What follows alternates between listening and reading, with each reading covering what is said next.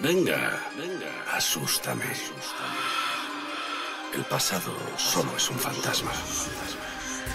Muy buenas chicos y bienvenidos a un nuevo vídeo de League of Legends En el que vamos a ver lo que hay, todo lo nuevo sobre la jungla Pero lo vamos a hacer lo más rápido posible Porque hay muchas cosas que realmente pues no son tan interesantes Y vamos a ver también que yo creo que esto es lo que os interesa Todos los campeones más, más OP de este rol, es decir, de la jungla Y los campeones que también se han visto muy pero que muy nerfeados, ¿de acuerdo? Así que si os gusta más, dale un buen like, suscríbete y todas esas cosas Vamos a empezar con lo primero y lo básico, los cambios en los ítems de la jungla. Ahora se ha simplificado todo y ahora directamente lo que tenemos es simplemente dos ítems, el rojo y el azul Que son básicamente similares a los que había anteriormente. Pero claro, ahora esto se ha visto pues beneficiado en cierto modo. Básicamente porque tú seleccionas el que quieres, el rojo o el azul Dependiendo de las estadísticas que tenga cada uno de nosotros Que como ya os digo son iguales que lo de la Season 10 o parecidas Lo que vamos a hacer es lo siguiente. Vamos a tener 5 cargas para smitear y cuando acabemos esas 5 cargas lo que vamos a hacer es obtener esas estadísticas como estadísticas bases, es decir, las vamos a adquirir.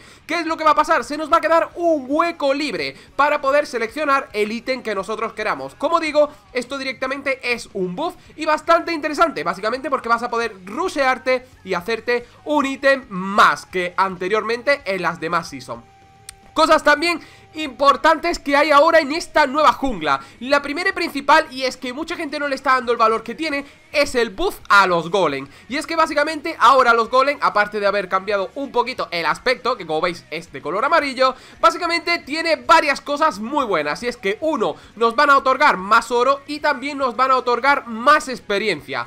Nos van a otorgar un poquito de menos oro los grandes y nos van a dar también menos experiencia. Los pequeñitos nos van a dar más oro y también nos van a dar más experiencia. Básicamente porque ha hecho esto Riot Games. Como ya sabéis, en la season anterior lo que se hacía era hacerse los grandes y te olvidabas de los pequeños porque daban menos oro y menos experiencia. Pues bien, ahora es totalmente al contrario y lo han hecho para que realmente directamente consumas el campamento entero y te los hagas los más pequeñitos básicamente porque tienen mucha más importancia. También nos vamos ahora al sapete Y es que el sapo ahora mismo se ha convertido en un objetivo muy bueno para la jungla Básicamente porque sigue siendo lo mismo Pero ojo y ojito porque aquí tendríamos que al matarlo nos va a otorgar vida y también nos va a otorgar maná Lo cual va a servirnos muy bien para mantenernos en esa jungla Y poder seguir haciendo más fácil sin tener que sufrir tanto y también por último, el campamento que ha obtenido eh, pues otro cambio con respecto a la season anterior es el cangrejo del medio, el escurridizo. Y es que ahora tiene un escudo que puede, es un escudo anti-CC, ¿no? Es decir, para bajárselo necesitarías aplicarle CC o directamente habilidades con daño, porque no todos los campeones en la jungla tienen CC, ¿no? Pues bien, básicamente es un cangrejo, ahora ya no nos da los mismos privilegios que antes y cuesta un poquito más de matarlo. Pero tampoco es que sea nada del otro mundo. Y como regla general, y esto creo que no lo ha dicho nadie, la jungla es mucho más fácil. No vamos a poner estadísticas porque creo que a muy pocos te interesa si tiene 10 más de vida o 10 menos de vida, pero realmente la jungla se hace mucho más rápido y es mucho más fácil de hacerla también porque se ha reducido tanto la vida en algunos campamentos como la velocidad en la que se mueven, lo cual es muchísimo más fácil quitearla y es mucho más fácil hacerla en muchísima más velocidad. Así que esto sería todo lo relacionado con los cambios de la jungla y yo creo que nos vamos a ir ya al meollo del asunto porque yo creo que es lo que a todo el mundo le interesa, ¿no? ¿Qué campeones realmente están rotos y con qué build? Si veis que os está gustando el vídeo, pues suscribiros, ya que mucha gente que ve el canal pues no está suscrita. De hecho, aquí tenéis las estadísticas del anterior vídeo. Así que con el primero que vamos a empezar va a ser con Kha'Zix, que la verdad es que Kha'Zix está overpower ahora mismo en esta nueva temporada. Como veis, empezaríamos con la espada de granizo que es la espadita azul De primer ítem tendríamos ese filo oscuro de Draktar Que como ya sabéis es su mítico Y recordad que solo se puede llevar un mítico. De todas formas tenéis el vídeo de todas las guías De todos los objetos míticos que hay en el League of Legends Para todos los roles que la podéis chequear si queréis. De segundas le meteríamos las botas blindadas, que serían las Tabi de Ninja antiguas, básicamente, si no pues podéis seleccionar a lo mejor las de CD o como vosotros queráis, pero estas son las más óptimas. También tendríamos el filo fantasmal de Yomus, también tendríamos el filo de la noche, Rencor de Sirelda y por último ese Guardian Angel. Esta sería la build con más win ratio que tendríamos ahora mismo. Nos vamos a ir con Graves, un campeón que también ha cogido muchísimo protagonismo en estos primeros momentos de la season nueva. Y es que tendríamos que le podíamos rushear el Eclipse, un ítem que está teniendo muchísimo, pero que muchísimo impacto. Antes hemos seleccionado Cuchillo de Ascuas. También le buildearíamos Grebas de Berserker, le, acompañaríamos con ese filo fantasmal de Yomus, filo de la noche, baile de la muerte y por último un ítem defensivo como puede ser el Guardian Aim. Con Cain la verdad es que vamos a tener diversos factores, ¿no? Dependiendo de si es el Cain rojo o si es el Cain azul. Creo que esta build para el Cain rojo está turbo power y os voy a decir los beneficios que tiene. De todas formas también comentaremos la del Cain azul.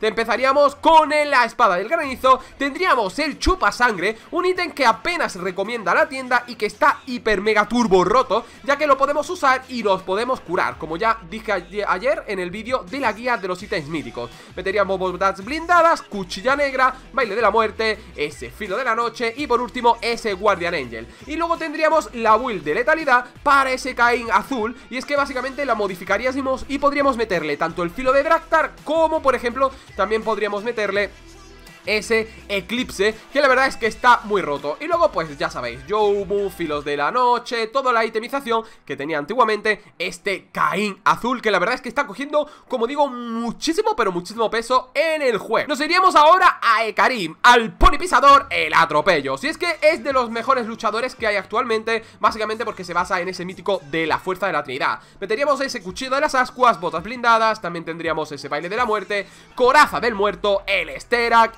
por último, una malla de espinas. Si veis que tienen demasiado AD, si veis que tienen algo más de AP Pues podéis hacer un poquito la modificación en la web. Ojito con Maestro G porque es uno de los tapados y es de los que más ha aumentado su win rate. Y es que tendríamos un campeón que ya de por sí es, bueno ya sabéis, una auténtica destrucción. Pues si le metemos el Kraken, el Martatrack, el Matacrakens Pues la verdad es que se vuelve una auténtica bestialidad. Tendríamos el cuchillo de ascuas, ese verdugo de Kraken. Tendríamos también grebas de Berserker, esa Ginso que tenemos que ahora es un poquito diferente. La nueva hoja del rey arruinado que está bastante fina También tendríamos ese final del ingenio. Y por último ese baile de la muerte que nos va a otorgar ese, eh, esa posibilidad de supervivencia. Pues tenemos ese, esa ignore de daño y demás Que la verdad es que como ya os digo, junto con la hoja del rey arruinado Se convierte en una combinación letal. Aparte recordad que el, el matacrakens, el verdugo de los krakens Pues básicamente cuando le metes tres autoataques, ¡pap! Le haces daño verdadero Lo cual es una auténtica pasada y para dejar un tanque, porque hay amigos, mucha gente decía, wow, es la season de los, no va a ser la season de los tanques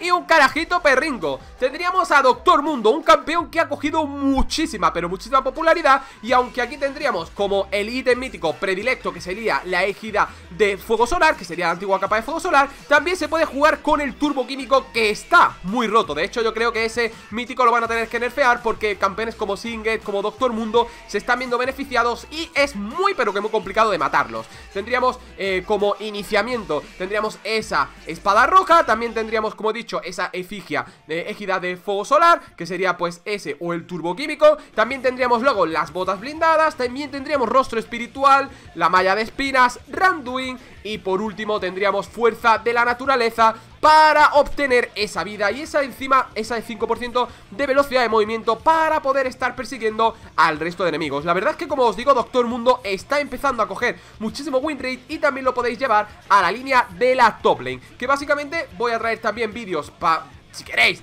de los demás roles, tanto de los medios, de la top lane y demás, enfocados como este vídeo, qué es lo que ha cambiado en la línea y cuáles son los campeones que más OP están ahora mismo. Pero no nos vamos a olvidar tampoco de los campeones que están más nerfed, y es que sí, hay campeones que se han visto muy perjudicados y en la jungla precisamente muchos más. Y es que como habéis visto, hay una coincidencia clara entre todos los campeones OP que hay en en este rol de la jungla y es que básicamente todos van con AD Sí, los ítems de AD se han visto muy beneficiados al igual que en la season anterior. Esos ecos rúnicos estaban muy turbo rotos con muchos campeones. De hecho ya sabéis que empezaron a tener muchísima prioridad esos campeones con AP pues bien, ahora como veis no hay casi ítems que vayan bien contra, con junglas en, de AP en esta nueva Season 11 y la verdad es que están sufriendo muchísimo. Es cierto que hay algunos, como por ejemplo Lilia, que puede verse más o menos contrarrestada con el hecho de que el Liandry ha sufrido mejoras y mejoras sustanciales, pero por regla general van a sufrir muchísimo contra todo este tipo de campeones AD, lo cual vamos a ver que tenemos a Nidali, Lilia, Elise y Echo como campeones que antes, hace tres días, eran muy pero que muy buenos en la jungla y ahora directamente han sufrido un nerf indirecto con respecto a todos los cambios que ha habido en los objetos de League of Legends. Y es que es cierto que Nidale la vamos a tener muy off meta por el hecho de que no se ve muy beneficiada con los ítems míticos que han metido nuevos, al igual que Lilia, Elise y Echo, que son los campeones más perjudicados. Esto podríamos llevarlo también un poquito a Gragas, lo que pasa es que Gragas podemos tener la, la opción de buldearle tanque, al igual que campeones como por ejemplo Sejuani. Así que esto sería todo lo que tenéis que saber sobre esta nueva jungla de la Season 11, que la verdad es que está pintando muy bien. Por cierto, quería también comentar al final del vídeo de que empezaré a traer guías, pero hay que dar un poquito de tiempo, básicamente porque a partir de hoy van a empezar a caer diversos hotfix y lo que puede estar ahora turbo roto, puede que mañana no lo esté, así que vamos a esperar un poquito a que se estabilice todo para empezar a traer guías mucho más completas, así que lo que iremos haciendo ahora será guías más generales con campeones que están más rotos y campeones que han salido pues un poquito perjudicados. Aquí teníais, tendréis el primero, por supuesto la guía de los objetos míticos también os la voy a dejar para que podáis chequearla y demás. Y por supuesto en los comentarios quiero que me dejéis si queréis la siguiente, tanto de la línea del soporte, como de la línea del medio, como de la línea del top. Así que depende de vosotros. Así que sin más dilación, espero que os haya gustado un montón y nos vemos en el siguiente vídeo. ¡Adiós!